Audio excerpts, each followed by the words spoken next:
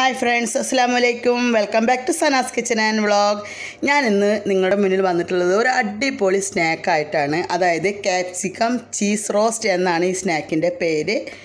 നിങ്ങൾക്ക് ഇത് ഒരു വെറൈറ്റി ആയിരിക്കുമെന്ന് തോന്നുന്നു.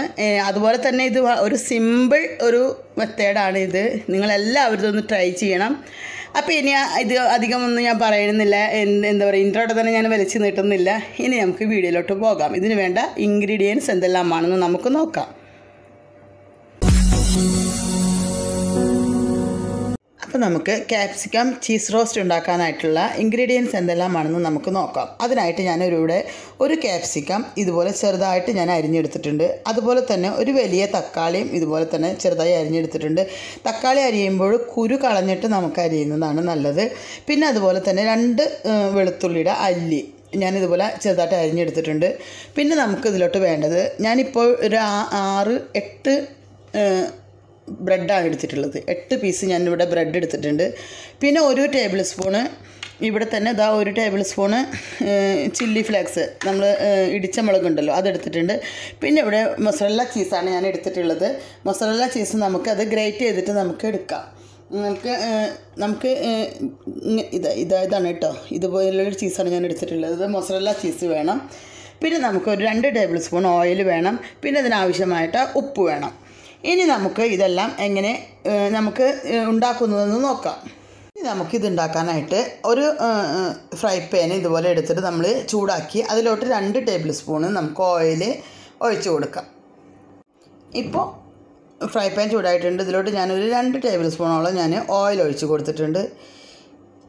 ഇനി ഇത് നമുക്ക് ഈ എണ്ണ ഓയിൽ ചൂടായതിന് ശേഷം നമ്മൾ എടുത്തു വെച്ചിട്ടുള്ള ക്യാപ്സിക്കവും അതുപോലെ തന്നെ തക്കാളി ക്യാപ്സിക്കം വെളുത്തുള്ളി ഈ മുളക് ഉണക്കിയ മുളക് ഇടിച്ചതും കൂടെ നമുക്ക് ഇതിലോട്ടിട്ട് വഴറ്റി കൊടുക്കാം. നമുക്ക് ഇതെല്ലാം ഇതിലോട്ടിട്ട് ഒന്ന് വഴറ്റി കൊടുക്കാം.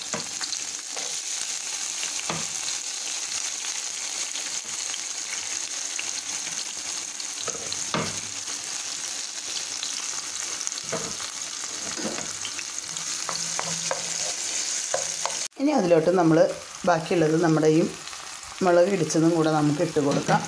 പിന്നെ ഇതിലേക്ക് ആവശ്യമായിട്ടുള്ള കുറച്ച് ഉപ്പും കൂടെ നമുക്ക് ഇട്ട് കൊടുക്കാം. എന്നിട്ട് ഇതെല്ലാം കൂടെ നമുക്ക് നല്ലപോലെ ഒന്ന് വഴറ്റിയെടുക്കണം അപ്പോൾ നമ്മുടെ ക്യാപ്സിക്കം തക്കാളിയും അതുപോലെ തന്നെ വെളുത്തുള്ളിയും ഈ മുളക് ഇടിച്ചതെല്ലാം ഇവിടെ വായന്ന് റെഡി ആയിട്ടുണ്ട്. ഇനി നമുക്ക് ഇതൊരു പാത്രത്തിലോട്ട് വേറൊരു പാത്രത്തിലോട്ട് മാറ്റി വെക്കാം. എന്നിട്ട് നമ്മൾ നമ്മൾ ആ റെഡിയാക്കിയിട്ടുള്ള ആ നമ്മളത് വയറ്റി വെച്ചിട്ടുള്ള ആ ഫ്രൈ പാൻ തന്നെ ഞാനത് കഴുകിയിട്ടില്ല. ആ ഫ്രൈ പാനിൽ തന്നെ നമുക്ക് ആവശ്യമായ ബ്രെഡ് പീസുകൾ നമുക്ക് നിരത്തി കൊടുക്കാം.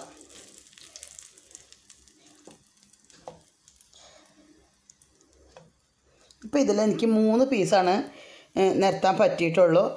എന്നിട്ട് ഇതിന്റെ മുകളിൽ നമ്മൾ ഉണ്ടാക്കിയിട്ടുള്ള ആ മിക്സ് നമുക്ക് ഇട്ട് കൊടുക്കാം.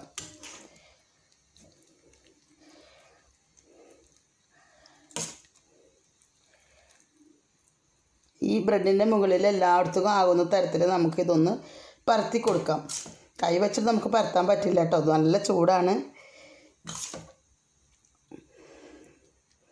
മക്കൾ ഇവിടെ കളിക്കാൻ പോയിരിക്കുകയാണ്.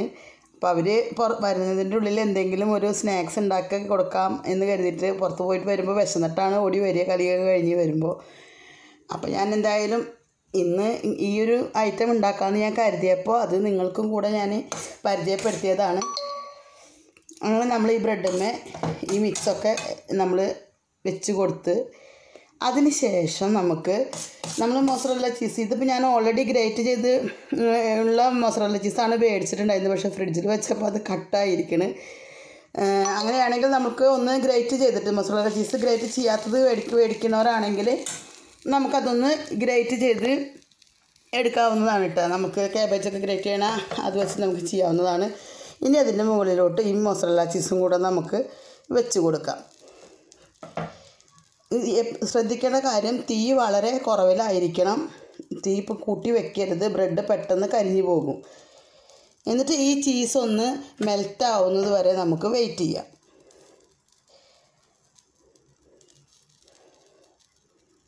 ഈ ചീസ് നല്ലപോലെ മെൽറ്റായി ഇതിന്റെ മുകളിലോട്ടൊക്കെ ഇങ്ങനെ ഒലിഞ്ഞ് വരണ പോലെ ആയി കഴിഞ്ഞാൽ നമുക്ക് തീ ഓഫ് ചെയ്ത് നമുക്ക് സർവിങ് ഡിഷിലോട്ട് മാറ്റാം. പ്രത്യേകം ശ്രദ്ധിക്കേണ്ടത് ഇത് ചെറിയ തീയിൽ വേണം വെക്കാൻ ഇനി വേണമെങ്കിൽ നമുക്ക് ഇതൊന്ന് മൂടി കുറച്ച് നേരം വെക്കണമെങ്കിൽ വെക്കാം. അങ്ങനെ നമുക്കിതൊന്ന് തുറന്ന് നോക്കി നോക്കാം. ഇപ്പോൾ നമ്മുടെ ചീസൊക്കെ ഇവിടെ നല്ലപോലെ മെൽറ്റായിട്ടുണ്ട് ഇനി നമുക്കിതൊരു സർവിങ് ഡിഷിലോട്ട് ബ്രെഡൊക്കെ നല്ലപോലെ ഇവിടെ മൊരിഞ്ഞു വന്ന പോലെ ആയിട്ടുണ്ട്. ഇനി നമുക്കിതൊരു സർവിങ് ഡിഷിലോട്ട് നമുക്ക് മാറ്റാം. നമ്മൾ ഉണ്ടാക്കിയ മൂന്ന് പീസ് ഞാൻ ഒരു പാത്രത്തിലോട്ട് മാറ്റിയിട്ടുണ്ട്. ബാക്കി ഉണ്ടാക്കാനായിട്ട് ഞാൻ അടുത്ത ട്രിപ്പ് ഞാനിതാ ഇതിലോട്ട് ഇട്ട് കൊടുത്തിട്ടുണ്ട്. അങ്ങനെ നമ്മുടെ സ്നാക്സ് ഇവിടെ റെഡി ആയിട്ടുണ്ട്. അടിപൊളി ആണ് കേട്ടോ അത്. അടിപൊളി ഒരു എന്താ പറയുക വൈകിട്ടേക്കൊക്കെ നമുക്ക് കുട്ടികൾക്ക് കൊടുക്കാൻ പറ്റിയ അടിപൊളി ഒരു സ്നാക്കാണ്. മാത്രമല്ല ഇതിൽ വെജിറ്റബിൾസ് ക്യാപ്സിക്കൊക്കെ ഇങ്ങനെ ചേർന്ന കാരണം കുട്ടികൾക്ക് അത് ഹെൽത്തിയാണ് അധികം ഓയിലും കാര്യങ്ങളൊന്നും നമ്മളതിൽ ആഡ് ചെയ്യണില്ലല്ലോ. അപ്പോൾ അതുകൊണ്ട് എല്ലാം കൊണ്ടും കുട്ടികൾക്ക് അതൊരു ഹെൽത്തിയാണ് അപ്പോൾ ഈ വീഡിയോ ഇഷ്ടപ്പെടുമെന്ന് ഞാൻ കരുതുന്നു. ഇഷ്ടപ്പെട്ടെങ്കിൽ നിങ്ങളെല്ലാവരും ലൈക്ക് ചെയ്യണം ഷെയർ ചെയ്യണം സബ്സ്ക്രൈബ് ചെയ്യണം. പിന്നെ എന്റെ വീഡിയോ കാണുന്ന കൂട്ടുകാർ സബ്സ്ക്രൈബ് ചെയ്യാത്ത ഏതെങ്കിലും കൂട്ടുകാരുണ്ടെങ്കിൽ ഒന്ന് സബ്സ്ക്രൈബ് ചെയ്തിട്ട് വീഡിയോ കൺ കണ്ടിന്യൂസ് കാണണം കേട്ടോ അതിനോട് കൂടെയുള്ള ആ ബെൽ ബട്ടൺ കൂടെ ഒന്ന് ക്ലിക്ക് ചെയ്താലാണ് ഞാനിടുന്ന എല്ലാ വീഡിയോസിന്റെ നോട്ടിഫിക്കേഷൻ നിങ്ങൾക്ക് കിട്ടുകയുള്ളൂ. അപ്പോൾ ഇനി അധികം ഒന്നും പറയുന്നില്ല. ഓക്കെ ഇൻഷാ അല്ലാ അസ്സാം വലൈക്കും